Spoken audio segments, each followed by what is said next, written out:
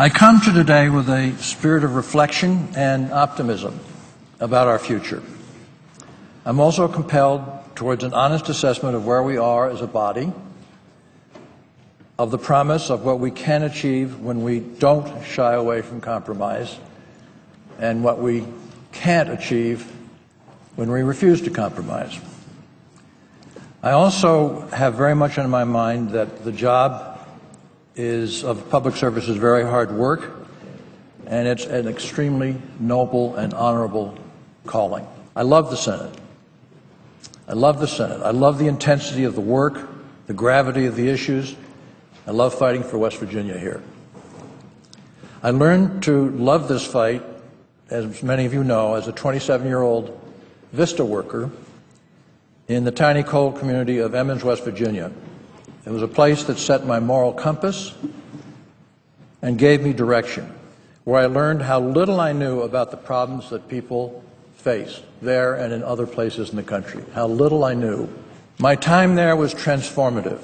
It explains every policy I pursued and every vote I have cast. I believe genuinely in the ability of government to do good, to serve, and to right injustices.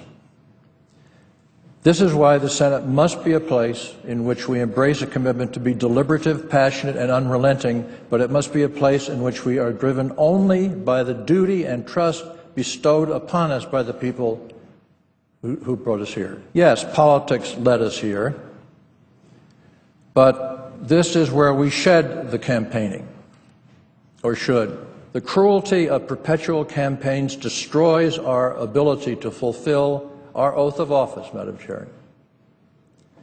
It is hard to build a working relationship in this institution without an honest and open approach with our colleagues, Republican or Democratic. But we must build that relationship because together we can do so much, and without that, we can do, as we have seen, nothing. I will miss the Senate. Some days I don't want to leave but it's time. Which brings me to some profoundly important notes of gratitude.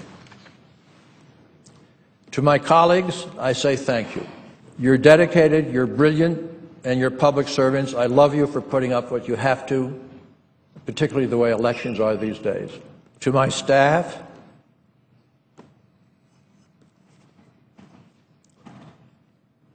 a senator is really nothing without his staff or her staff. And there is not a more committed, talented, and deeply passionate staff in the United States Senate. To my staff, you live and you breathe your work every day.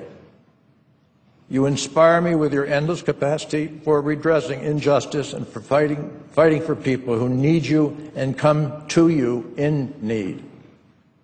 You never turned a single West Virginian away. I glory in my gratitude to you. To my family who has sacrificed so much, I thank you. I have been selfish uh, in my devotion to my work, and I have been vastly inept in balancing family and work. Sharon, you are everything. An extraordinary mother, a remarkable businesswoman, and you're a public servant. The impact that you continue to make on public life is truly remarkable. Any achievement I am proud of, I share with you eternally. And to West Virginia, thank you for placing your faith in me. I know it was hard at first, and giving me the greatest reward, the chance to fight for meaningful and lasting opportunity for those who are too often forgotten but absolutely deserve the best. My fellow West Virginians, I am forever inspired by you and I am ever transformed by you. Thank you, Madam President. I yield the floor.